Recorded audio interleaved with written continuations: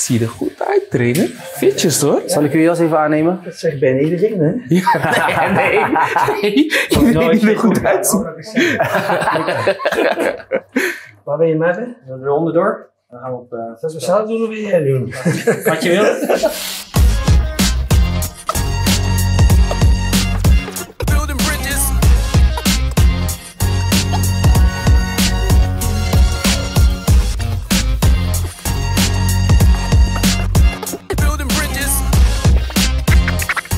Welkom terug bij weer een nieuwe aflevering van Building Bridges, geproduceerd door Going Places Productions.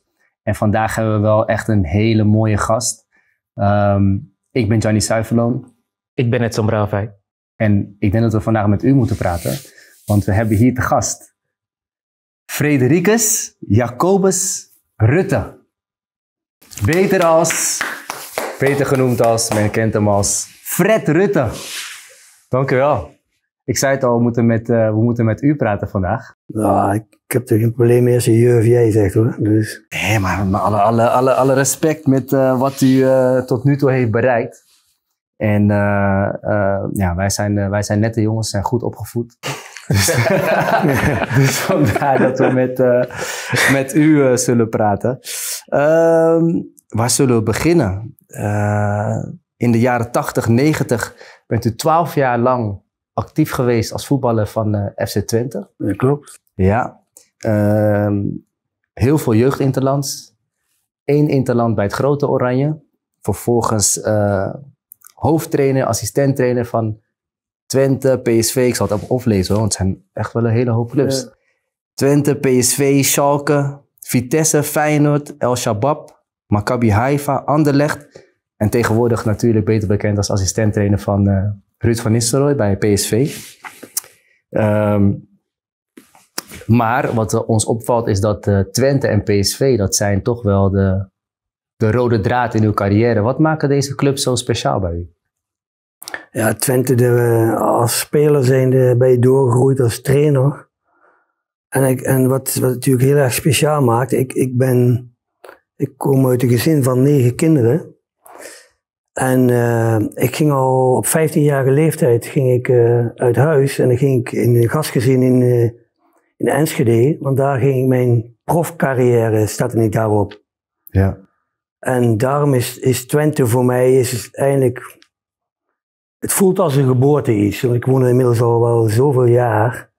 En als je dan door kunt groeien van trainer naar. of van speler naar trainer. Ja. Dan geeft dat een heel goed gevoel bij die club. Ja. Ja. Hoe was dat voor u om eh, als 15-jarige dan in één keer toch Heel vanuit moeilijk. huis te gaan en Heel moeilijk, echt heel moeilijk. Ik, omdat namelijk als je uit een gezin komt van eh, een groot gezin. ja, En eh, binnen dat grote gezin was mijn moeder al, al, al, al vrij vroeg weduwe. Mijn vader is overleden met 50 jaar leeftijd. Ja. En dan blijft mijn moeder met vijf kinderen achter. En dan gaat ik als bijna de jongste, ging ook nog weer uit huis. Dat was voor haar heel moeilijk. Eh, en voor mijzelf ook hoor, omdat ja, er was altijd reuring. In, in een groot gezin is altijd wat te doen. ja, En dan ga je, kom op een kamertje en dan, dan zit je... In het begin heb je daar geen problemen mee, want dan, dan heb je bijna altijd... Er is altijd wat te doen. ja, hè. In de voorbereiding, we weten wel hoe het gaat. ja, Maar na de voorbereiding, ja, dan moet je ook naar school. Ja. En dan, dan begint het pas. Dan ga je het pas missen. Het, Mhm. het, het thuisfront. En dat, dat waren best wel... Niet in mijn eerste jaar, maar in mijn tweede jaar. Maar toen werd ik ook geblesseerd. mhm. En dan ben je 16 jaar. En dat was een hele lastige periode voor mezelf. Wat was voor u dan een moment of een iets waar je houvast aan had om door te gaan? Nou ja, dat waren mijn... eh, eh, de momenten dat ik weer even een weekend naar, naar mijn moeder kon. Dat, dat waren wel... Dat sterkte weer mijn momenten. Ja, Ik bedoel, je bent nog een kind. Je bent een kind van 15, 16 jaar. En dan... Ja, dat, dat, dat gaf mij het gevoel van als ik weer, hè, weer terugging, op de trein stapte, had ik weer het gevoel van zo, nu kan ik er weer ik kan tegenaan. er weer tegenaan, Ja. ja. Dat Ja. goed voorstellen. Mooi. Ehm, onze aller, allereerste echte vraag is eigenlijk altijd eh, naar de gast die eh, op de bank komt zitten is... Hoe gaat het eigenlijk echt met u? Ja, Ja, heel goed. Ja? Ja, zeker. Ik ben, eh, eh, het allerbelangrijkste is natuurlijk eh, mijn familie. Ja. Ja, iedereen is gezond. Ik heb een mooi leven. We genieten ook van het leven. En dat is toch voor, voor mij wel het allerbelangrijkste, denk ik. Ja. Ja. Nee, ja, ik denk voor ons allemaal wel. Omdat namelijk als je, naarmate je wat ouder gaat worden, dan krijg je ook hier en daar wat de fysieke probleempjes. En, maar ik ben nog wel redelijk fit. Ja. Dus en dat is dan wel prettig. Met welke speler heb je de meeste speciale band? De meest speciale band, eh, dat is eigenlijk. Dat is altijd wel geweest uh, Orlando Engela. Oh. Ja, Die lange noemde ik ja lange, lange, inderdaad. lange. ja. Nee, dat, dat was eigenlijk vanaf het begin was daar al een. En dat was eigenlijk nog in het begin van mijn eh, trainerscarrière. Ja. Eh, had, daar had ik gelijk een klik mee op een of andere manier. Ja. En dat, dat, was- dat was voor mij een, eh, eh, voor het eerst dat, dat, je, dat je een speler die al een beetje gevestigd was, om die om te hebben kunnen turnen van een 10, hè, we Ja. weten het allemaal, Ja, naar een 6. ja, En dat, dat was voor mij een enorme uitdaging. En in het begin was het ook best wel lastig, maar er was een connectie was daar meteen. je hebt dat wel met meerdere spelers gedaan. Ja, ja, ja. spelers vanuit de positie gehaald Ja, en dan op een andere positie gezet. En dat ze daar eigenlijk meer tot hun bloei zijn gekomen en, en een bepaalde ontwikkeling hebben ervaren. nee, dat klopt. Dus ja, ik bedoel, ik kan ze eh, niet allemaal meer zo tevoorschijn halen. Ja, kijk, weet je, er zijn wel namen en kijk, als ik met Gini was, was ook een 10 bij Feyenoord en Gini moest je ook eh eh, bij Naldum Ja, ook best wel overtuigen dat je in 8, als je op 8 kan spelen, ja, dat je namelijk ook de absolute top kan halen. ja. Ja, en uiteindelijk is dat dan, dan is dat dan wel heel erg goed gelukt met Ja.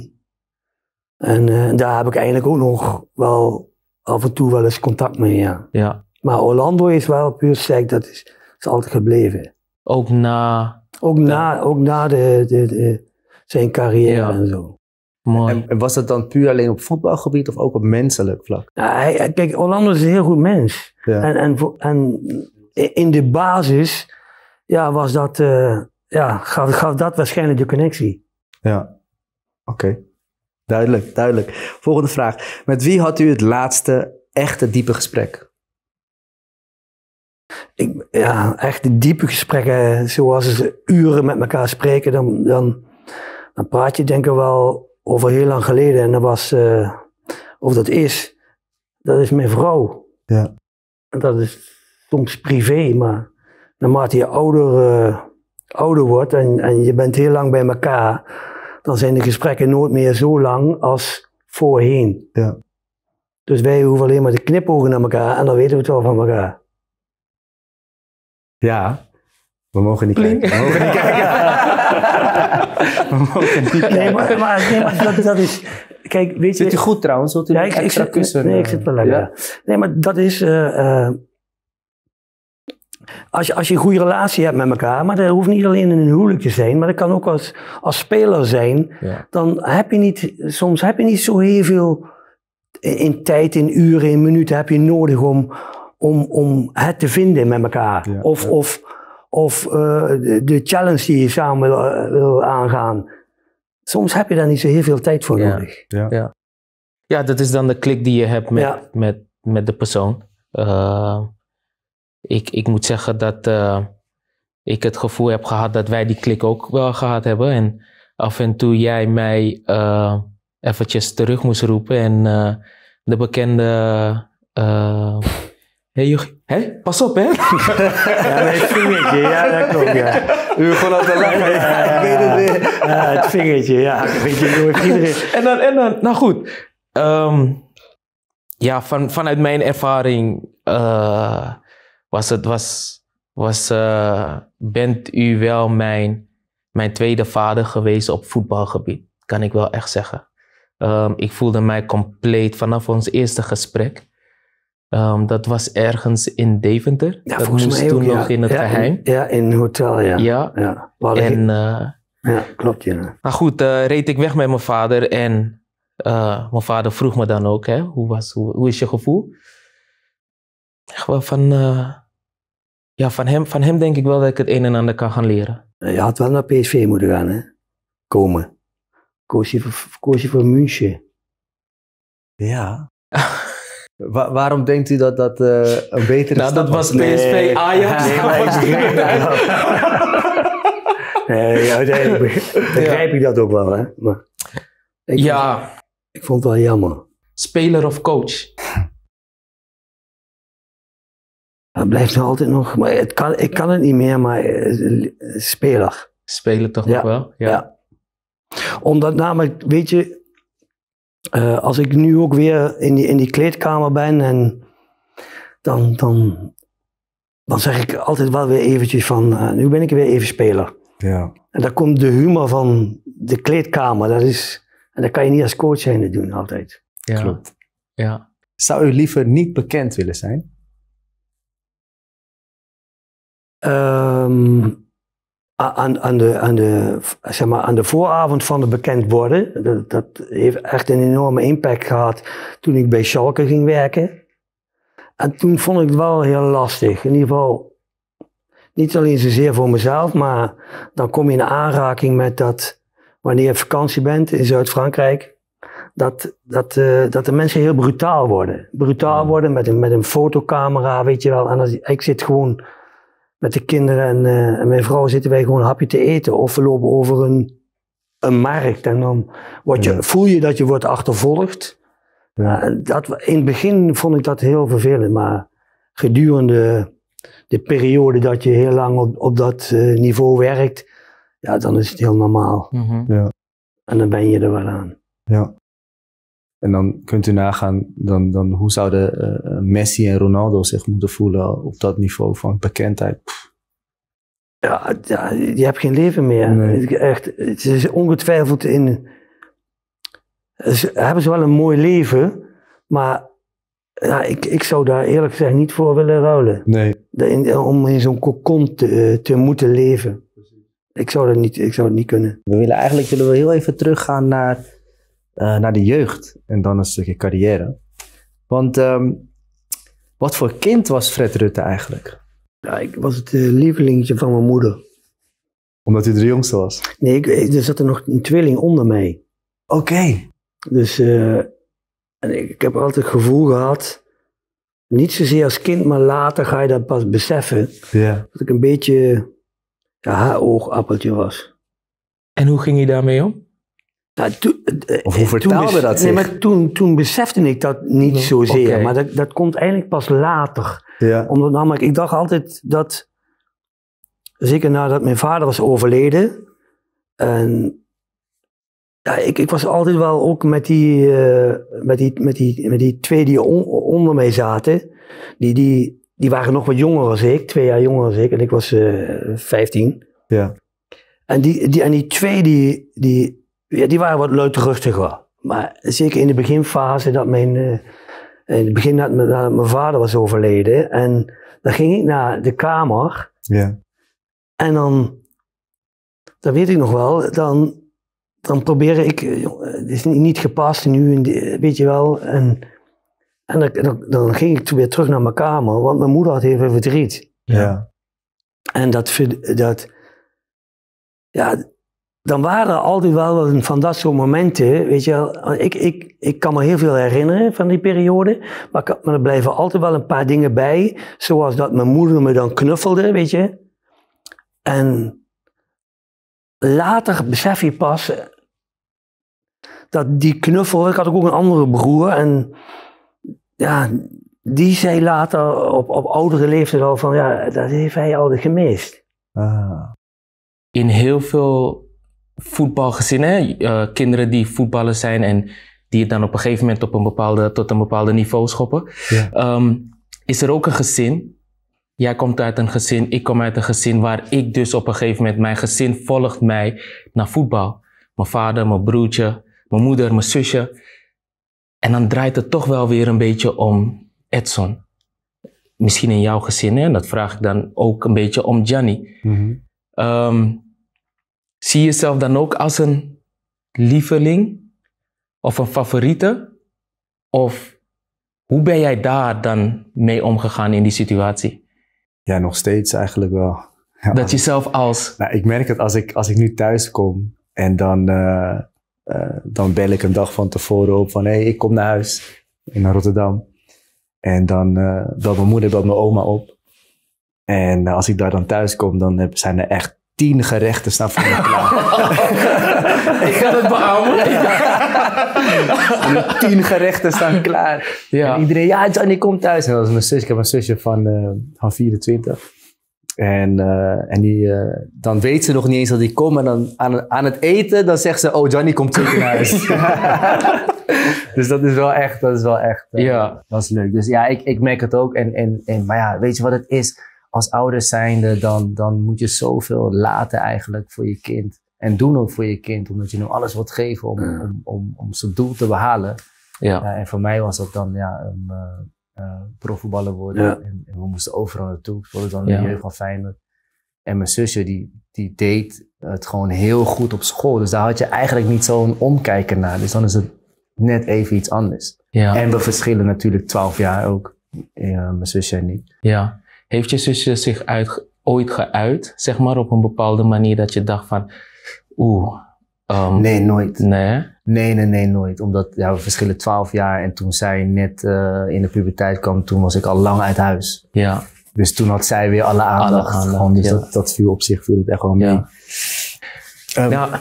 ja. Ja, ik, ik, ik moet zeggen dat ehm, heel soms dacht ik erover na. Van, nou, Edson was eh, eigenlijk altijd thuis totdat ik naar eh Twente ging. Ook toen ik bij Utrecht speelde had ik mijn eigen woning al. Maar ik was gewoon elke dag thuis. Ehm, maar ja, dan, dan reisde de familie toch naar Enschede weekenden en dan draait het om Edson en dan komen we thuis en dan... Ik, ehm, ik heb me dat wel een beetje soms afgevraagd van hey, ik heb het nooit gemerkt hoor, bij mijn broertje of bij mijn zusje. Mhm. Ehm, maar ik probeerde wel altijd naar hun terug, weet je, van jullie horen erbij en, Ja, en ja. zijn één gezin, één familie. En het is het succes van ons allemaal. Ehm, maar ik had daar soms nog wel een beetje moeite mee. ja, dat kan, maar ja. Je, je moet toch... ehm, kijk, op een gegeven moment moet je toch je, je, je kind die op dat moment het... Ja, als het meest succesvolle bent en het meeste support nodig heeft... Ja. eh, denk je dat je die toch wel het meeste aandacht naar naartoe Is dat, gaat. is, ja? Ik denk dat we het allemaal wel zouden doen. ja, Ja? Ouders zeker, zeker. Je wil nooit onderscheid maken. Nee, Ik weet niet precies. als ouder zijn. Dat, eh, ik denk dat het wel menselijk is. Ja, maar ik wil nog heel even terugkomen naar het stukje, en dat is het, eh, dan daar gaan we verder over uw jeugd. Hoe oud was u toen uw eh, vader overleed? Ik was 15. 15. en ehm, nou, En mijn toen vader. ben je ook naar Twente gegaan. Ja. Ja, mijn, mijn vader is ook overleden, maar ik was een stukje jonger, vijf jaar. Hoe was dat bij u in die periode? Want u ging natuurlijk op vijftijarige leeftijd ging u weg. Ehm, in, in, in, in hoeverre heeft u uw vader gemist? Ja, weet je, het is eigenlijk eh, het is een beetje gegroeid. Mijn, eh, mijn oudere broer ontfermde mij eh, een beetje over mij. eh, zeker toen ik naar Twente ging. Weet je, ja, die, die ging altijd naar de wedstrijden en die haalde me dan op op zaterdagmiddag. Maar die bracht mij naar het station. Want ik moest met de trein op zondagavond weer terug naar, naar, naar Twente. Dus in die periode, en met mijn vader, ja, ik kom- uit een arbeidersgezin. Ja. En mijn vader, die, die, die was er eigenlijk bijna nooit. Omdat die moest altijd werken. Die moest zijn gezin onderhouden. Ja. Dus die was al, zeg maar, van de, eh, van de zeven dagen in de week eh, werkte die al in, in Duitsland en dan was hij intern. Ja. Al vier of vijf dagen. Dus, en dan, dan was hij al thuis en, dan- dan moest, ging hij nog weer klussen om, ja, we moesten allemaal schoenen, we moesten allemaal kleding, we moesten allemaal eten. Ja. Dus ja, dat, dat, die- was al een beetje op afstand, weet je. En, en zoals ik zelf met mijn kinderen ben- ben ik ook heel veel van, van huis geweest. Mhm. En, en eh, nadat ik een paar keer een sabbatical heb gehad, heb ik ook geleerd dat ik, dat ik ook met de kinderen wel eens kon gaan lunchen. En dat je daar wel in gesprekken, eh, meer in gesprek bent als anders. Ja. En zo was het in onze tijd, in mijn tijd dus, als 15-jarige, had ik het gevoel dat mijn, de rol van mijn vader een beetje over is genomen door mijn, door mijn oudere broer. Ah, oké. Ja. Wat voor soort speler was u? Wat kenmerkte u als, als, als voetballer? Ik denk dat ik. eh, eh, ik denk dat ik, dat ik denk ik eh, in mijn carrière altijd heb gezien wat er op het veld gebeurde. Ja. Dus eh, de, de, de overview, en niet zozeer in mijn eigen omgevingetje zat. En dat ik als, als jonge speler eigenlijk altijd al me heb bezig gehouden met, ja, met het team. Of er nou in het veld was of buiten het veld. Dat, dat, dat, dat herinner ik mij eigenlijk ook nog wel als, als jonge speler, zelfs bij mijn amateurclub. ja. Dus er zat eigenlijk altijd al een trainer in u. Nou, in ieder geval een, een, een, een aanvoerder. Zelfs het Nederlands elftal gehaald. Ja. Dan zat u in een team eh, met, eh, eh, wat was het? Erwin Koeman, Ruud Gullit, Danny Dat was het, Dat was het EK, EK 88. 88. Dat heeft u ook net op een haar na gemist. Ja klopt. Wat was Ja, het dat gevoel daarbij? Een Ja, foutje van de bondscoach was dat. dat, Ja, dat, die had niet Even- Nee, maar dat kan, hè. Iedereen kan fouten maken. ja, dat is waar. U- Dus hij, Als had, ik het- hij, hij had, hij had niet voor Koevermans moeten kiezen, maar hij Ja. voor mij moeten kiezen. Ja, dat zei u net. U zei over de doden niets dan goed. Ja, Maar. Michels had natuurlijk voor mij moeten, moeten kiezen. ja dat is een foutje. Tot, de, tot de dag van vandaag. Hoe- Dat, dat, dat is nog een krasje. Vo- voelt, u dat, voelt u dat nog steeds? Dat, u- dat u denkt van, ah, dat is wel... Ja, dat, wel, eh, ja, dat is wel. Dat is wel kijk, weet je, eh, ook alle trainers die je gaat vragen, die, die een voetbalcarrière hebben gehad, die, die, dat, voetbal is, zelf spelen is toch het aller, allermooiste wat er is. Ja, En als dat dan. Kijk, op dat moment eh, heb je ook dat gevoel, het wordt je ontnomen. Want Ja. ik was gewoon beter. Hmm. Ik, Ja. ik was completer. Maar, maar ik hoorde later wel van andere mensen dat. eh, kijk, Michels is natuurlijk een, een, een, een, topcoach, maar, maar verder denkt dan van de selectieprocedure van het moment. Ja. Dus die denkt, die, ja, we zit, je zit vier weken bij elkaar of vijf weken bij elkaar. Ja, en eh, ja, ik was dan wel, ik, ik, voor mijn gevoel was ik beter. En, dan- en dan zou ik misschien wel op, eh, op dat toernooi misschien lastig kunnen zijn Ja. voor, eh, ja hè, voor de begrijp wat u keuze van de coach. En, Ja. en bedoel, dan, dan begrijp ik dat ook wel. ja? Ja, dan Begrijp, je, begrijp je dat nou echt? Als ik nu als trainer kan ik me dat heel goed voorstellen. Maar toen als Maak je, dan ook, niet. maak je dan ook zo'n keuzetrainer om de betere speler thuis te laten? Nou ja, als het, als het uiteindelijk gaat om het teamproces, Ja. waardoor, het, waardoor, het, waardoor je, zeg maar, als je in processen kunt denken, dan, dan kan je wel in de, in de bandbreedte kan je ongeveer wel nagaan van, als ik dit ga doen, Ja. dan zijn dat de gevolgen. Ja. En dit kan een gevolg zijn. Dan sluit ik dat liever uit aan de voorkant. Ja. Dus dat is, dat is wat proactiever denken, ja. als dat je reactief moet denken en dat je op dat toernooi, dat daar een probleem ontstaat wat, wat eigenlijk helemaal niet hoeft. Dus eigenlijk was het helemaal geen foutje van Michels. Oh nee, dat mag je niet zeggen. Dat mag hij niet zeggen. Maar om in het proces te denken. We pakken hem zo meteen Nu, nu terug. wordt hij weer brutaal. Ja, ja, ja, we pakken hem zo meteen was in terug. zijn carrière ook. Oh, die vinger, die vinger, En dan kwam dat en dan kreeg hij altijd het gevoel dat hij een beetje zweven. Ja, Ja, ja, moet ik hem ja, weer we op de grond We zetten. pakken hem zo terug. maar op dat moment, ehm, want we hebben het natuurlijk, hier altijd over, over het stukje mentale nemen we dat hier, eh, hiermee. Hoe ging je daar mentaal mee om? Nou, ik, ik, ik, ik heb het altijd wel heel vervelend gevonden. Ik ben eh, op de. eh, ik heb natuurlijk dat hele EK gevolgd, alle wedstrijden gekeken. En, en vooral de momenten van. ah, komt hij erin? Ja. Dat had ik Dat misschien had kunnen ik zijn. Ja. Weet je, zo op die manier. Ja. En dat, dan is dat, eh, heeft dat even een smetje op je carrière. Ja. ja. Voor mijn gevoel. Ja. Ja, be- begrijp ik wel. Ja. Ehm, nou, uiteindelijk eh moet uw carrière stoppen op eh 30-jarige leeftijd. Ja. Eh, jammer genoeg, vrij vroeg. Door een, ehm, een, een, een heupprobleem. Want u had het net al over, Ja. over uw, eh, over uw heup. Eh, had u het gevoel dat er meer in had gezeten?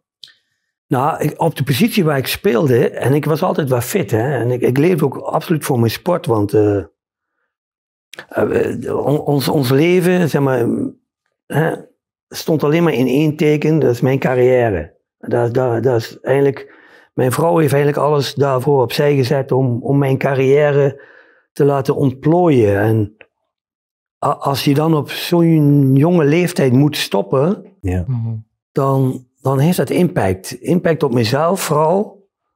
En omdat namelijk, je weet namelijk, die ervaring, als je op 29 bent, dan begint pas jouw carrière. Mhm. Voor een team. En zeker op de positie waar ik speelde, als centrale verdediger. Ja. Dan, dan, dan, krijg, dan, dan gaat alles wat eenvoudiger als dat je 25 of 24 bent. En niet dat het op de automa automatische piloot gaat, maar ik was altijd al bezig met de kleedkamer. En dan, dan verstevigt dat het alleen maar meer, denk ik. Mhm. ja. Ja, je bent dan ook al op een leeftijd waar je ehm, behoorlijk wat wedstrijden gespeeld hebt. Dus de ervaring daarin. Je ziet situaties, je herkent situaties veel, Veel sneller. Ja. Ehm, plus het, het fysieke ehm, is al aardig wat gewend.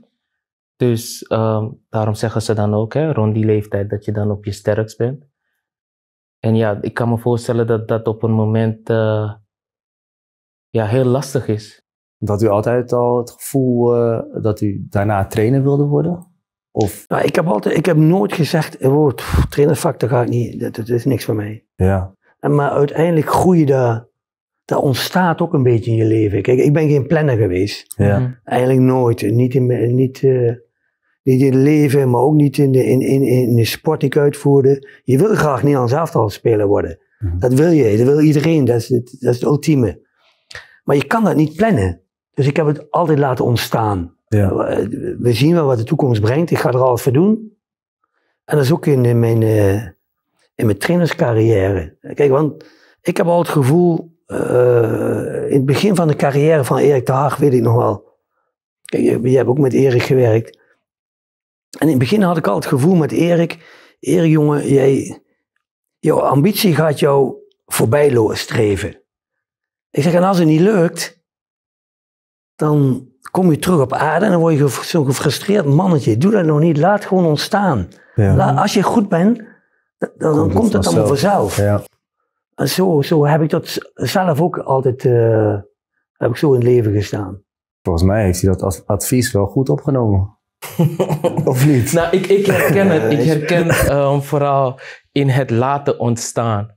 Ehm, ja, ja, ja, je, ziet, je voelt hem maar aankomen, ook in het spelletje vooral. Ja. Ehm, werd er, werd er op, bij mij op gehamerd van forceer het nou niet. Hè? Laat het ontstaan. Dus ook in, in, eh, in de Twente-periode, de manier hoe we aan het spelen waren, van achteruit opbouwen. En dan ontstaat het moment vanzelf en dan zie je het en dan, Boom. en dan gaan we door.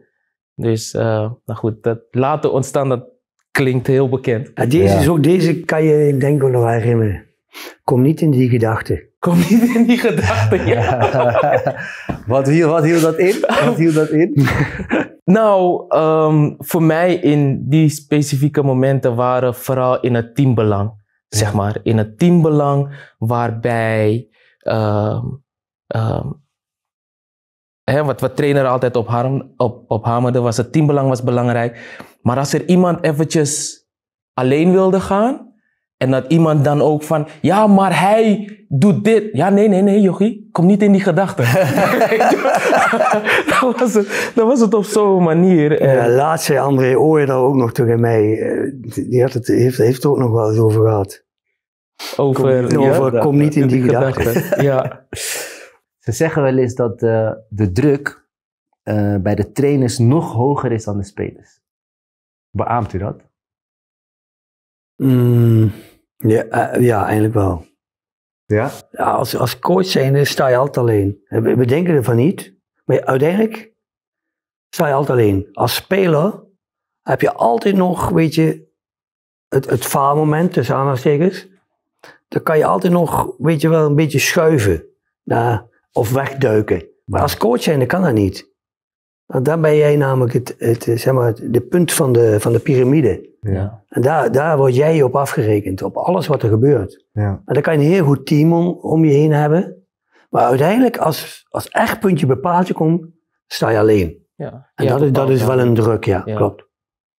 En, en hoe gaat u daarmee mee om? Als u, als u bijvoorbeeld een, een, een, een, een moment in, tijdens uw carrière eh, moet noemen, eh, eh, wat voor u het, het zwaarste was als, als trainer zijnde, hoe zag dat eruit, mentaal, en, en hoe ging u daarmee om? Ja, het, het, het, de zwaarste periode heb ik eigenlijk wel beleefd in, in Duitsland, bij, bij Schalke. En Ja. weet je, dan ga je als onervaren, pff, onervaren coach of onervaren trainer, ga, maak je de stap naar het buitenland. En je stapt uit een totaal veilige omgeving. Mhm. En, en omdat namelijk, als ik bij Twente was, als ik zei bijvoorbeeld, eh, eh, dit is dan zwart. En als ik zei, dit is wit, dan zei iedereen, dit is wit. Ja. En daar had ik heel veel moeite mee. Daar had ik best wel moeite mee, omdat namelijk wel, we waren succesvol. Ja. En dan gaat ook iedereen, ja, je, je- zeg maar, alles wat je zegt is ja. Ja. Maar, maar daar had ik geen uitdaging meer. ja. Nou, dan ga je naar Schalke. Kom je in Duitsland met een, met een hele goede manager. Nou, en dan kom je met hele grote spelers heb je te maken. Ja. Met, met grote spelers als Bordon, eh Kristais, jongens die al alle Champions League wedstrijden hebben gespeeld. En dan komt er een, tussen aanhalingstekens een beginnend trainer, Ja. Ja. die moet dat managen. Nou, daar heb ik wel best wel veel eh, zeg maar, st- stressmomenten gehad van, van hoe moet ik dit nu doen? Ja. Hoe, weet je, hoe, hoe moet ik ervoor zorgen dat een, een speler als Benny Heugdes, die is die, zeer getalenteerd, die andere is 35. En je, je weet ook, hè, als ze jong zijn en zijn goed, dan erin. Ja. En dan moet je dat proces begeleiden. Mhm. En dat, dat is voor mij, zeker in het begin, is dat, was dat eh, vreselijk moeilijk. En, en, Dat ik soms wel eens, weet je, dat, dat ik soms wel eens, eh, ja, je had bepaalde afspraken op tijd eh, aan, bij het eten en zo. En dan zat ik, zat ik mezelf op te fokken, als ze maar op tijd zou komen, als ze maar op tijd komen, weet je. Dat, dat is niet goed. Want wat, wat zou er dan gebeuren als ze niet op tijd zouden Ja, dan, komen? dan moet je weer, dan moet je weer, optreden? eh, maar geen kleine jongens straffen, Ja. weet je. ja. Dus op een gegeven moment is er zo'n situatie ook een keer geweest, kwam Neuer te laat. Ja. En, en, en Manuel is, eh, ja, is nu een hele grote jongen in Duitsland. Hè? Maar toen was hij, ja, ik denk Opkomend. 20 of zo, Ja. een heel groot talent. Ja. Ja. Maar die, maar die had zich ook gewoon verslapen. Dus de training, maar als je in, in het buitenland bent, en zeker in, in Duitsland, eh, eh, ja, de beeldzeitung, het is gesloten training, maar die weet alles. Ja. Uiteindelijk weten ze alles. En dan hadden toevallig daar een open training. En toen heb ik het zo gemanaged. Ik denk van ja, ik kan twee dingen doen. Ik kan naar buiten gaan, ik heb het thema. Dus toen heb ik, eh heb ik Bordon, Kristais bij me genomen in kantoor. Ik zeg, dit en dit is aan de hand. Ik zeg, wat doen we? Hmm. Dus ik maak ze deelnemer van, van, het, hè, van, van het thema. Ja. En ik zeg, we kunnen twee dingen doen. We kunnen naar buiten gaan. Daar hebben we een groot thema. Dat staat morgen op de eh, voorpagina. Of we wachten gewoon met de training eh, tot hij er is. En dan gaan we gezamenlijk naar buiten. Ja. Dan merkt niemand wat. En uiteindelijk is dat, eigenlijk is dat, daardoor heb ik, eh, zeg, zeg maar, vanuit mezelf het vertrouwen gecreëerd richting die, tussen aanhalingstekens, oude knarren. Oude spelers. Ja. toen kreeg ik ook de, echt de connectie. Het, was ook, het was ook, denk ik... eh, nou, bij Schalke waren er heel wat jongens die heel veel verdienden. Kan je best wel zeggen, ja. Ja, en natuurlijk met ehm, ja, het gegeven, hè? Dus, dus ja, je komt binnen als ehm, ehm, jonge trainer. ehm, en dan de ervaring die je dan met je meebrengt. Dat die jongens dan toch misschien niet het respect gaven wat hij wel verdiende, wat, wat hij gepresteerd had daarvoor ook. Ook nog tegen Schalke gespeeld, wat, wat ik herinnerde. En dat we ze eigenlijk ja, wegspeelden. Nou, door de ervaring en de kracht op het laatst dat we dan die wedstrijd toch nog verloren. Ehm, Maar heeft u daarin in het verschil met zulke jongens omgaan, ehm, u daar dan zeg maar de das omgedaan? Bij, bij Schalke? Ja, ik, weet je, dat was, het- ze noemden dat in Duitsland de ombouw. Dus, dus het, het, het veranderingsproces van de successen van, van, van de jaren daarvoor, Ja. voor ik kwam, die waren echt enorm groot voor, Schalke. voor die club. Maar da, da, da, da- dan moesten we richting eh, ver- verjongingsproces. Eh, jongens als Matic, Ja, eh Heuwedes, weet je, die, die namen nog allemaal ken. ja, Dus die, die moesten allemaal langzaam klaargestoomd worden Ja. Voor, voor die generatie. Dat was hartstikke lastig. ja. En daar, daar was ook eh, daar, daar was zo'n zo'n zo'n kliekje. En dat was zo gesetteld met elkaar. Ja, kijk, Orlando heeft het meegemaakt zelf. Mhm. Ja, dan, dan word je toch overal buitengesloten, want die beschermen elkaar. Ja. Omdat die, hebben, die hadden misschien wel zes, zeven jaar bij elkaar gespeeld. Dat, ja.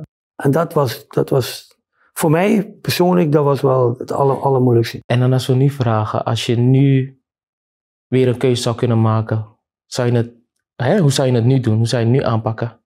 Ja, ik, ik zou het misschien wel op dezelfde manier aanpakken, maar ik zou, ik zou het iets anders aanpakken, denk ik. Eh, weet je, eh, ik, ik, eh, nadien ben ik ook, ook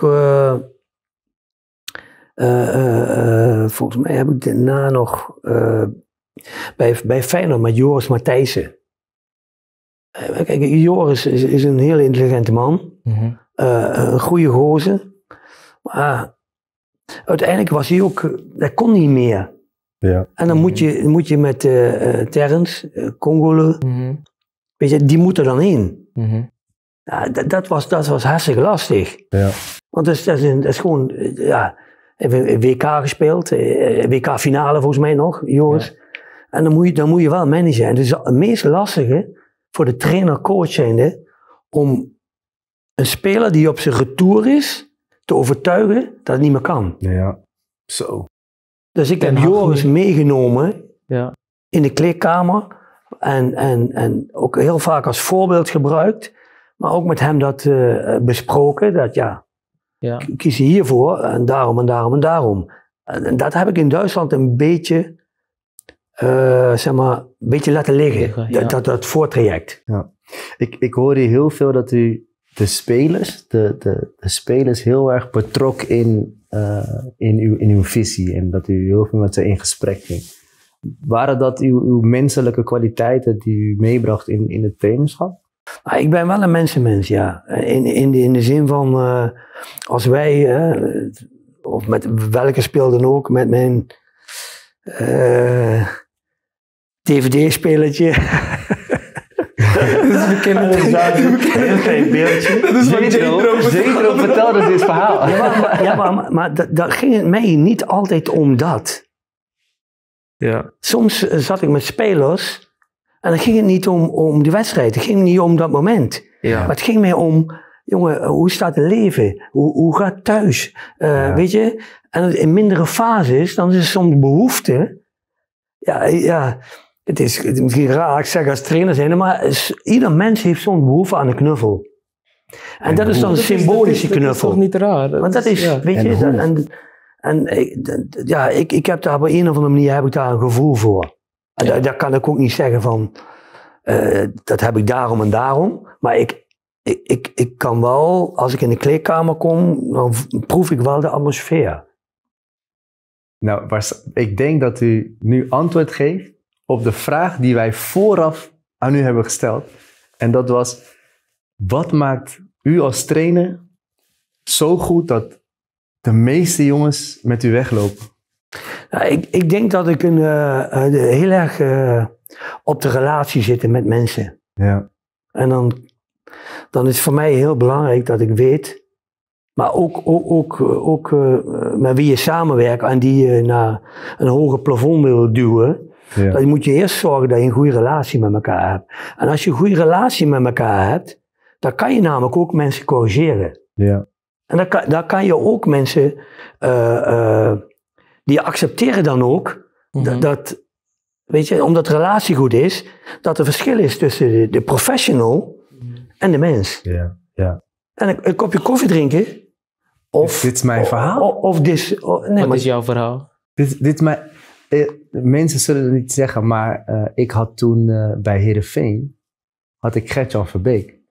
En die vertelde me dit exacte verhaal, dat er dus een verschil is tussen de coach die de speler eigenlijk eh, eh, wil adviseren en wil coachen, en de coach die zich richt op de mens. En op het moment dat je die twee dingen gescheiden weet te houden, duidelijk maakt, Mhm. dan kan je natuurlijk veel meer uit zo'n speler halen. Ja, maar dat, dat doe je ook. En dat is, eh, ik noem het altijd bewustwordingsproces. Ja. Als je, als je een topsporter in een bewustwordingsproces probeert te, te duwen, dat kost wel heel veel energie en heel veel tijd en heel veel communicatie. Ja. Want het gaat er vooral om.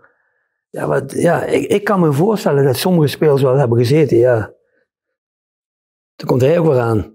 Weet je, dat kan ik me heel goed voorstellen. Is het, Maar is het ik wel bleef eens- wel doorgaan. Is Ja. het wel eens eh, verkeerd afgelopen? Ik weet Ja. dat we nog een eh Ja, kort weet je, kijk, gesprekje hebben de- gehad. Kijk, eh, je- iedereen maakt fouten. Ieder mens maakt fouten. En ik, ik heb, eh, weet je, het op, op de relatie zitten met spelers. eh, ik denk dat ik daar, daar, daar zeg maar, een dikke voldoende score. Of nog meer. Maar ik heb ook daarin een fout gemaakt. Dat is Otman Bakal. Weet je, Otje was, is echt een gouden gozer. Intelligente, intelligent, intelligente man. Go- Was een goede speler. En eh Otman zag mij meer als vader. Mm. Ja. En, en ik heb de fout gemaakt door. Ja, even, ja, het is wel heel erg, eh, maar om. Ik heb mijn kind laten, laten zwemmen. Ja. En dat had ik nooit moeten doen. Ik, ik ben van de relatie afgegaan, omdat ik was. In die periodes was vooral. eh, ik was zelf ge- eh, gefrustreerd. Niet gefrustreerd, maar. Ik vond namelijk dat hij eh, eh, 40-voudig international kon worden. Ja. Hier hadden we het net over. Ja, En dat, ja. dat kon hij echt absoluut. Hij had dus vermogen, maar had net dat, dat laatste, weet je. Dat, dat pikt hij niet. Ja. eh, weet je, weet je ik, ik heb wel eens, dit is een metafoor, Maar- maar, maar waar jullie moeten maar eruit knippen als het niet past. Nee, we nee, laten maar alles erin. nee, maar ik zei bijvoorbeeld wel eens tegen hem van, Otje, ik zeg, jongen, ik zeg, jij voetbal, zoals je in het leven bent, zo voetbal je ook. Je, je bent op jacht, hè, jacht eh, eh, naar een, naar, een, naar een mooie dame. En die Ja. mooie dame, die, die, die heb je dan eventjes. Ja. En dan denk je, ja nee, is toch niet goed. Ja. En zo voetbal jij ook. Je, je, je moet je basisplaats veroveren. Ja. En je hebt je basisplaats. En dan dan, dan, dan suddert het weer een beetje en dan gaat het weer weg. Nou, Maar, maar, en daarin heb ik tekort geschoten in, in het op de relatie blijven zitten, eh, hem uit blijven leggen en, en door blijven gaan. En dat, dat is. Maar dat ligt dat dan een aan u mij. of ligt dat wou dan aan de dat speler? ik- voor ik- wou- net zeggen, trainer. Nee, maar dat ligt aan mij. Ja? Ja, absoluut. Dit is, dat, kan, dat is, heeft hij geen. eh, kijk, weet je, ik, ik kan natuurlijk. We zijn en blijven mensen. En de ene mens is de, is de ander niet. En hij stond zo in het leven. Ja. En dat, dat, zat, dat zat in zijn systeem. En, en ja, ik, ik kon hem. Dat, dat lukte mij niet om. En ondanks dat heeft hij toch nog wel een mooie carrière gemaakt. Want, Nou, we hebben het net eigenlijk over Ja. bepaalde spelers ge- gehad die, die gigantisch veel talent gehad Ja, hebben. En die, dus, die het om wat voor reden dan ook niet gered hebben. Nou goed, het zegt wel, het ziet u ook wel, dat je zegt, hè, de verantwoordelijkheid ligt bij mij. ja, ja, absoluut. Maar ik heb ook geleerd dat de mens moet ook geholpen willen worden. En het zien in iemand en geloven in iemand, dat is het eerste. En dan ook de acties daarin in ondernemen om diegene te helpen. Maar als diegene keer op keer daarin het zelf gewoon niet wilt of niet ziet of niet gelooft, waar zit dan uw controle in op een gegeven moment? En nogmaals, het ziet u wel, maar. Hè? Dat, Ja. dat, dat vind ik dan. Nee, Eh, dat, ma- dat mag je ook vinden, maar ja. je neemt niet het gevoel bij mij weg. Nee, ja. nee. En dat is, dat is, ik, ik, weet je, zo, zo heb je dan wel. eh, zo, zal, zo zal het leven altijd zo zijn. Wat je denkt van, ja, daar heb ik eigenlijk één tekort geschoten. Ja. Ja. En, en wat belangrijk, denk ik, voor topsporters is aandacht. En ik denk dat de, de- zeker de huidige generatie trainers moet behoefte hebben, of moet de kwaliteit hebben in, in het empathisch vermogen. Ja, zeker. Eens. Zeker in de huidige tijd. Eens. Even, want we hebben het nu natuurlijk over uw, eh, over uw PSV-periode, ook als we het over Otman Mokal hadden. Ehm, ik denk dat zeker voor u was het, het, het aan het einde van uw carrière, was dat, eh, eh, van, van bij PSV, was het dieptepunt. Oh, goed dat je eh, dat even corrigeert. Sorry, Einde carrière, ik ben nog sorry. steeds actief. Ja, nee, nee, nee. Einde hoofdtrainer eh, Ja. eh, bij PSV. Ja, dat- was natuurlijk het, eh het, het busincident. Ja. Ehm, wij hebben het heel vaak hebben wij het erover om met de vraag van oké, wat doet dat nou met je als mens? Want heel veel mensen die, die hebben helemaal niet door wat dat met je doet als mens, als, als er zo'n druk op je wordt uitgeoefend, als de, de, de, de, de supporters eh, zo'n druk op je uitoefenen, op die manier met je, met je omgaan. Wat deed dat met u op dat moment? Nou, toen wij daar aankwamen, toen. eh, ik, ik voelde me in ieder geval niet happy. Eh, En niet happy in, in de zin van. Als ik nou alleen naar buiten ga, ik heb erover nagedacht, hè? Als ik daar alleen heen ga, wat gebeurt er dan met mij? Mhm. Kijk, we, we zien het. eh, het is voor alle tijden, hè? Het is niet alleen van nu dat iemand eh, op de tribune iemand een, eh, een map geeft, eh, een speler, eigen speler. Maar toen in die tijd was dat ook wel, hè? Ja. Dus en daar zat ik een beetje in angst. Ja, maar als ik naar buiten ga, alleen. Nou, op een gegeven moment gingen een paar spelers naar buiten. En toen kreeg ik ook een beetje dat vertrouwen. Ik wist toch wel. Een paar grote kerels naast mij, er kon mij niks overkomen. Weet je, zo op die, op die manier. Ja. Nou ja, en dan, eh, ja, dat was, dat was eigenlijk, eh, ik heb het moment nog wel eens een keer teruggekeken. En dan denk ik ook, ja, mijn stem sloeg over. Dat was al zo, daar zat heel veel emotie in. ja, natuurlijk. Mhm. En eh, ik, ik moet zeggen dat ik, dat ik, dat kan mijn vrouw beamen. Kijk, ik heb nooit problemen. Weet je, als dat is gebeurd, is dat gebeurd. Dat blijft bij mij nooit zo heel lang hangen. Ja. Want als ik eh, ja, mijn linkerbeen eh, in bed leg, dan, dan, dan, dan, en de rechter moet nog komen, dat, dat slaapt al, bij wijze van spreken. Hier maar nog ik- geen. Ik kan heel goed slapen. Nou, dat, dat betekent dus, als je gestrest bent, ja. Weet je, kijk, eh, kijk eh, ja, ik bedoel, dat is, dat is ook, veel mensen weten dat. Ik, ik heb bijvoorbeeld een stent, eh, weet je, voor mijn, als voor, uit, uit preventief heb ik een stent gekregen. Nou, dan, weet, eh, nadien weet ik ook wat stress is, wat echt stress is. Ja. Dat is namelijk dat je als je, en je gaat naar bed, dan denk je, oeh, word ik nog wakker? Weet je, kijk, maar dat heb ik in mijn voetbalcarrière of in mijn trainerscarrière, dat heb ik nooit gehad. Ja. Ik kon, ik kon gelukkig altijd. Maar goed, als je zo'n lieve, mooie vrouw hebt, als je dan, dan kan je wel eens een uurtje wakker liggen, maar daarna slaap je wel. Ja, ja, ja, ja. Ik, u, krijgt, u, krijgt, u krijgt wel heel veel. Nou, we, we, we zullen haar niet in beeld brengen, maar, maar uw vrouw zit hier en maar u krijgt ik wel het- nee, fantastisch maar- veel complimenten. Hè? Nee, maar ik had, ik had het absoluut ook gezegd als hij hier niet was hoor. Ja, nee, Dat- ik, dat- ik geloof nee, het. Trek dat ik geloof het. twijfel. Ehm, Want dat, Dat kan ik ook wel beamen in de tijd van Twente, ja. Eh, wat we ook heel vaak bespreken is eh, bijvoorbeeld als je, als je als speler of als trainer heel vaak eh, negatief in beeld wordt gebracht door media. Ehm, ehm, ehm, volgens mij had u daar ook af en toe wel, wel last van, dat u in een negatief beeld in de media werd gezet. Hoe gaat u, hoe gaat u daar dan mee om? Want dat brengt ons zometeen natuurlijk bij onze stelling die we gaan stellen. Maar hoe ging u daarmee om? De- deed dat u wat? Ging u daarmee naar nou, bed? mij, persoonlijk, eh, eh, ik had er nooit zo heel veel probleem mee. Maar ik vond wel vreselijk voor mijn kinderen en voor, Ja. mijn, voor mijn gezin. Dat was vreselijk, want, want die gaan naar buiten. En, en mijn, mijn dochter studeerde toen in Amsterdam. En eh, in die periode dacht ik nog, en dan, dan met de trein, en dan, dan zag, ze in, eh, zag ze mijn kop op die, weet je wel, eh, ja, even heel gechargeerd, eh, eh, Rutte mislukt, weet je wel. Dat, dat is wel haar vader. Ja. En dat heeft, ja, dat heeft dan bij mij heeft dat impact als, dat, als, als je kinderen dat soort dingen moeten ervaren. Ja. Maar dat is, dat is volgens mij het vervelendste. Ik heb ook een keer gehad dat eh, mijn overgang van Twente naar, of van, eh, ja, dat ik naar PSV ging. dat, dat ook daar supporters eh, gewoon eh, bij mij aan het huis staan. En, en, en eh, ik bedoel, ik was toen niet thuis, ik zat in Eindhoven. En dat zijn heel vervelende momenten. Zeker.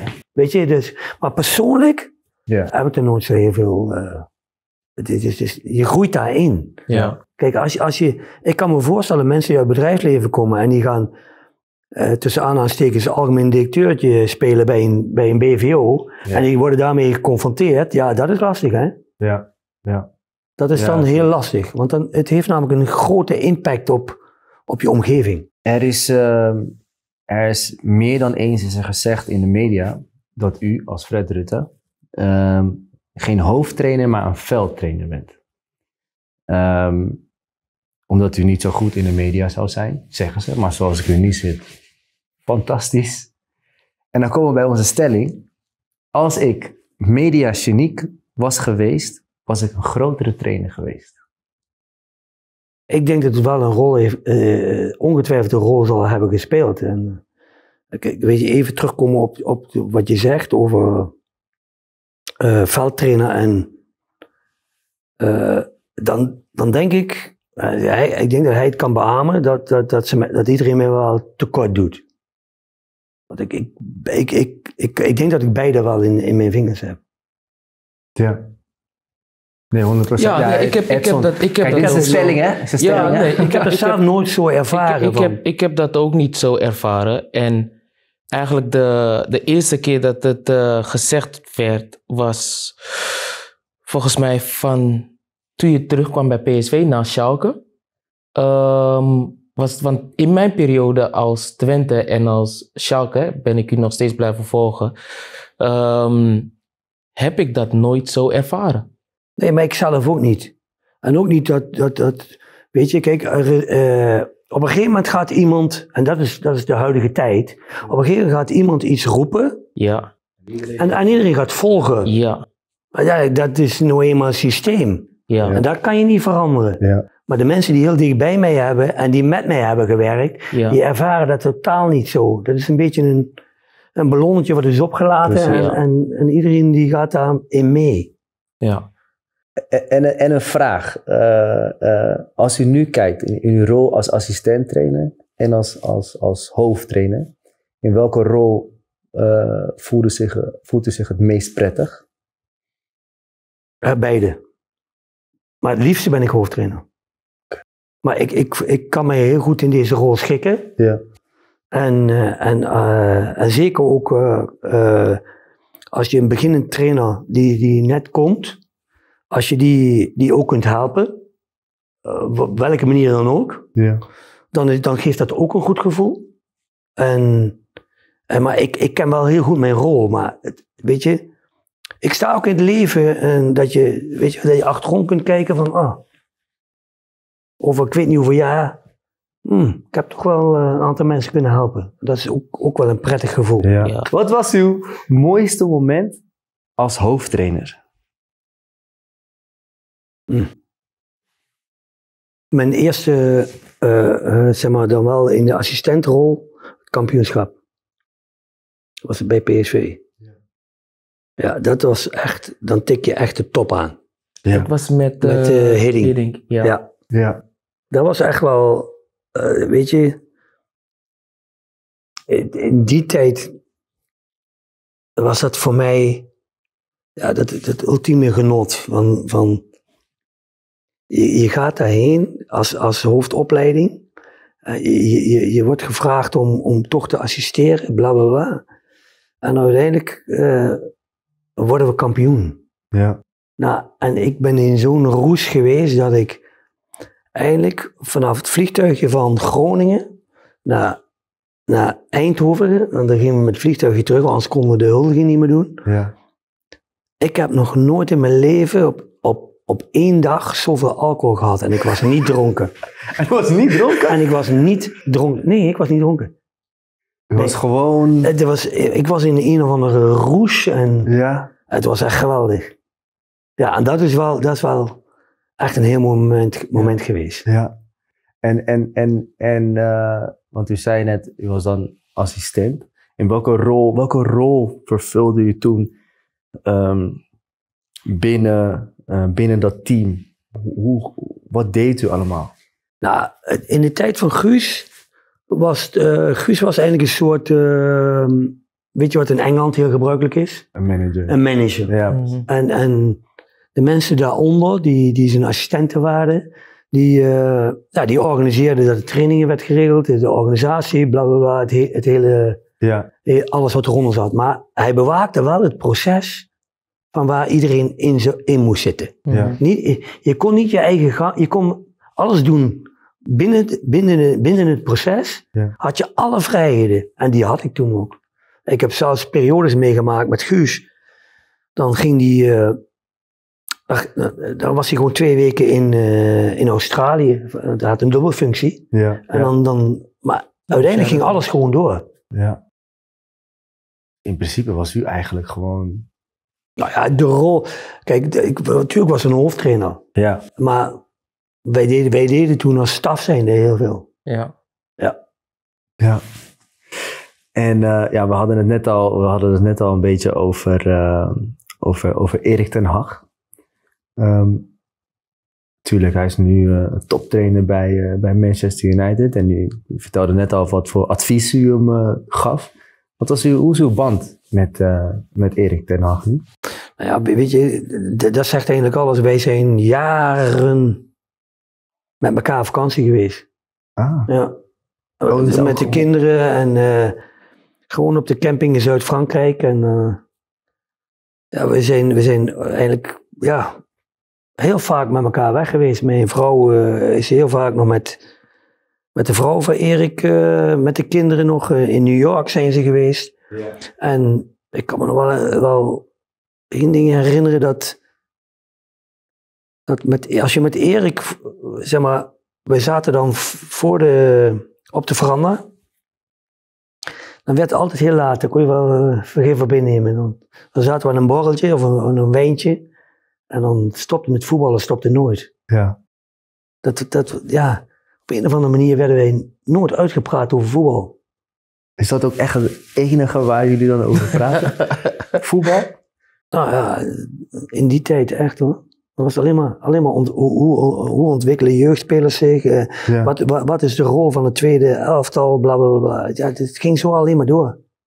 Nou goed, ik heb, ik heb jullie samen meegemaakt bij Twente, mijn eerste periode. Ehm, je zegt dat hij altijd zijn ambities eh, uitsprak. Had jij dit verwacht van Erik? Dat hij het zo goed zou kunnen doen? Ja. Ja? Omdat, eh, kijk, weet hij, hij is een... eh, Kijk, hij weet absoluut wat hij doet. Ja. En, en, en weet je, hij, hij heeft ook leren strategisch te denken. Dus dat betekent dat als je een handeling verricht, Ja. Dan moet je ongeveer weten wat de consequenties zijn. Dus hij had bij Ajax bijvoorbeeld Klaassen, die klaagde nooit. Ja. Maar die, hij had hem wel aan boord. Dus dat, dat- dan heeft hij een bepaalde strategie bedacht om hem toch aan boord te houden. Ja. En dat, en dat is namelijk de kunst van hele grote trainers. Ja. Als je Ja. da- als je, want het is lastig als in, in zo'n team en je hebt een stuk of vier, vijf. En als je die niet aan boord hebt, dan wordt het lastig hoor.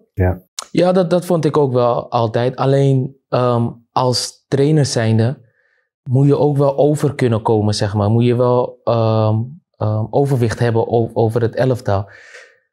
Nou goed, bij Twente, het eerste periode, ehm, merkte ik, had ik dat nog niet. Maar dat hoefde eigenlijk ook Ja, maar niet. was wel nog jong hè. Eh, nou goed, Ja. daarom. Dus ehm, ehm, dat hoeft dan ook niet. De situatie dient daar ook niet voor. Er waren een paar momenten dat hij dus ehm, eventjes moest optreden. En dan was het in de kleedkamer en dan kwam hij binnen. Ehm, en dan zei hij wat. En dan werd het niet serieus, zeg maar, genomen. En dan komt trainer Fred, Fred Rutte binnen. En dan is het gelijk, oké, ja, oké, ja, hey, jongens, nee, dit gaan we nu wel doen, zeg maar. Weet je, dus toen op dat moment en toen bij Utrecht, toen zag ik echt, ja, hij, hij staat er gewoon en heeft overwicht, heeft respect. Ehm, ehm, en daar zag ik wel van, ja, wauw, ehm, hij, hij wordt een topper. Dus, eh, maar dat was wel het verschil voor mij eh, met Twente Ja. en met Utrecht. Maar de rol is ook, eh, weet je, als je het, eh, als je het labelt en, je, en dat is per definitie, hè, dus Ja. zeker in het begin is dat altijd zo. De, de assistenttrainer is toch altijd anders. Ja. Daar kijk, daar kijk, mits, Bent u dat nu ook? nou, voor mijn gevoel niet. Nee. Voor mijn gevoel niet. Want ik bedoel, als ik, als ik bijvoorbeeld vind dat iets niet kan, dan. Eh, en Ruud heeft daar ook geen enkel dat probleem mee. Ja, weer. nee, maar dan, dan kan het vingertje weer eh, komen, ja. Ja, Ja. Ja, zonder dat ik daarbij de, de autoriteit van de hoofdcoach aantast. ja, precies. Dat kan, dat kan natuurlijk nooit. Ja. Nee. Dat kan ook niet. Dat zou ik ook niet willen, want omdat ik, daarvoor ben ik zelf ook hoofdtrainer geweest. Ja. Iedereen in zijn eigen rol toch het maximale uit dat team te halen. Ik denk dat het ook met leeftijd te maken had toen op dat moment. Ja, ja, Uh, ja. Hij was ook Ja. een stuk jonger. Ehm, maar goed, dat was wel voor mij een hele ommekeer. Dus Want ik heb zelf nog geadviseerd en eh, toen ik vertrok, ik zeg, je moet gewoon Erik, dan gaat, gaat alles gewoon weer door. Erik hoofdtrainer maken, maar dat wilden ze toen niet ja. met Twente. Maar mijn vraag is nog wel een vraag bij mij. Waarom bent u niet met Erik meegegaan? Ja, dat, is- dat even allemaal te maken met mijn gezin. Kijk, je komt in, als, je, als je daarheen gaat, daar heb ik goed over nagedacht. Kijk, sportief gezien, als ik bijvoorbeeld eh, eh, 15, 20 jaar jonger was geweest, had ik meteen gedaan. Ja. Maar weet je, de kleinkinderen, het gezin, eh, eh, dan weet ik zeker, als je, als je in Engeland, dan zit je in een rollercoaster. Zo. Dus wanneer zie ik dan mijn, mijn kinderen en mijn kleinkinderen, en mijn, eh, die Ja. zie je niet meer. Ja. Dat is echt want het gaat alleen maar van, hè, als je in Engeland hebt gespeeld, dan weet je dat. Dan, En dat wil je niet meer. We hadden u ook gevraagd om een, eh, een item mee te nemen. Eh, maar nou heb ik begrepen dat, eh, dat het net iets te laat was eh, doorgegeven. Maar we zijn wel heel erg benieuwd naar wat het item geweest zou zijn. Het, het item zou geweest zijn, het gaat eigenlijk een, een lang verhaal, eh, of niet lang, maar dat is een, eh, een, eh, een horloge met een, eh, met, met een fotocollage met een speler daarop. En in mijn tijd bij Schalke had ik, eh, jij weet, als ik een beetje, weet je, in een relatie echt aan het vechten ben met spelers, hè? Mhm, dan weet je wel hoe ik ben, hè? mhm, Nou, en ik heb toen maar één jaar met Kevin Korani eh, gewerkt. mhm. G- eh, zeg maar, goede spits. Maar goede spits die niet het maximaal eruit haalde. En In de zin van- goed.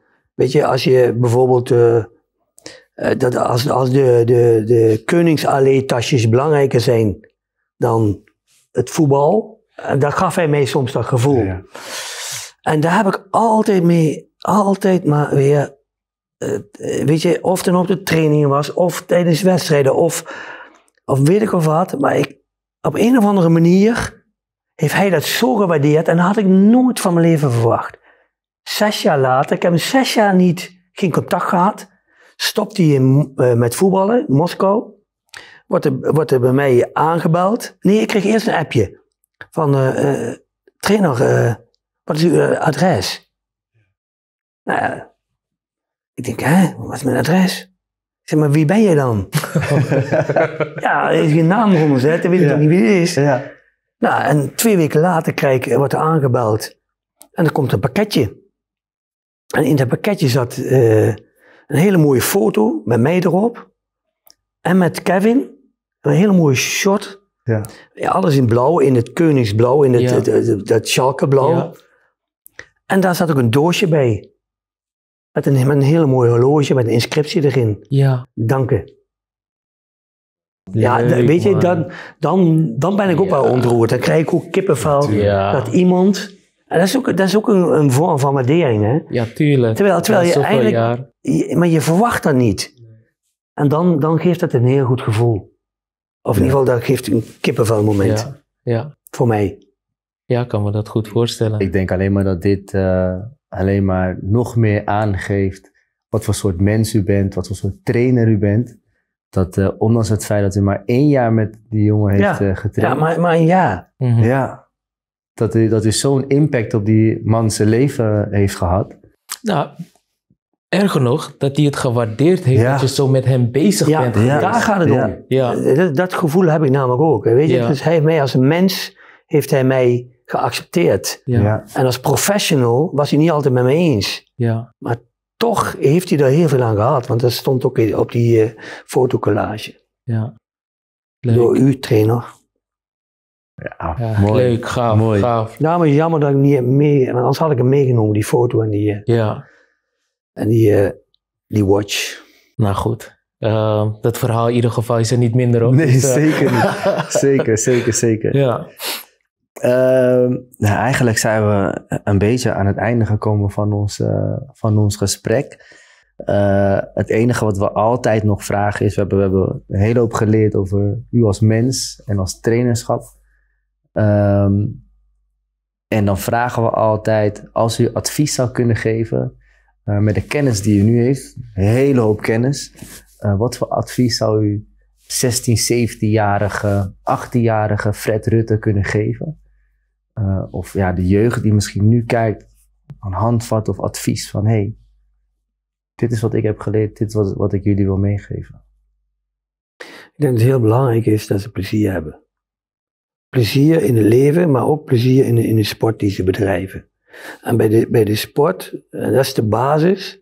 Als je topsporter wil zijn, dan gaat het niet om wat je beleeft, maar eigenlijk gaat het erom dat je heel veel moet laten.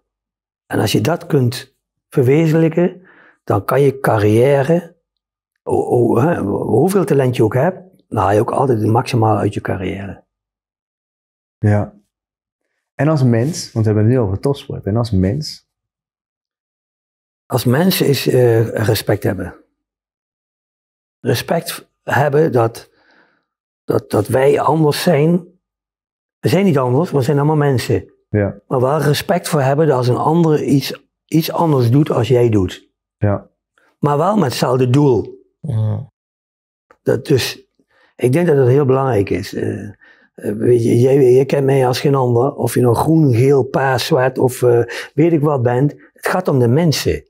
Ja. Het gaat om de mens die, daar die daarachter zit. ja, En eens. als je daar, als dat respect er niet is, dan, dan, dan kom je in wel een hele vervelende rotwereld terecht. En in die gedachte mogen wij niet komen. Nooit komen. Dit is echt een fantastische afsluiter. Dit is een fantastische Ja. afsluiter. Die had je niet genoteerd, hè? nou, ik wil u in ieder geval hartstikke bedanken. eh, of wij willen u hartstikke bedanken Ja. voor het feit dat u hier op de bank heeft eh, willen zitten. Eh, en hetgeen wat wij geleerd hebben in, in seizoen 1, is dat heel veel mensen naar ons toe kwamen en zeiden: We zijn jullie heel erg dankbaar voor de kennis die jullie verspreiden. Ehm, voor jeugdspelers, voor ouders. Maar ik denk ook dat we met u ook weer een heel ander perspectief hebben kunnen aanbieden vanuit het trainerschap. En dat ook heel veel trainers en coaches eh, eh, hier heel veel eh, profijt van zullen hebben met de kennis die u nu heeft eh, eh, laten horen. Ja, ik, ik, ik, ik voel me er happy bij als ik, eh, eh, weet je, als ik een heel kleine bijdrage heb kunnen leveren aan. Het is niet de route, maar het is misschien een onderdeeltje wat, wat, wat ze mee kunnen nemen in hun carrière. Precies. Ja. En ik vond het weer leuk om... eh, Wederzijds. ja. Wederzijds. Ja, ja, Dus eh, nou, heel erg bedankt. ja. En eh, Graag gedaan. ik, hoop je, eh, ik hoop dat het dit keer niet zo lang gaat duren. Voordat we elkaar weer gaan zien en spreken. Is goed. ja? Ongetwijfeld. Met die lange. Met die lange, Met die lange erbij. Ja, Dat zou Ja, leuk zijn. Ja. Nou, nogmaals, dank jullie wel voor het kijken weer. Dit was Building Bridges, waarin wij bruggetjes bouwen om kennis te verspreiden. En eh, we kunnen niet wachten om weer eh, door te gaan naar de volgende aflevering. Keep watching. Blijf kijken. Thanks.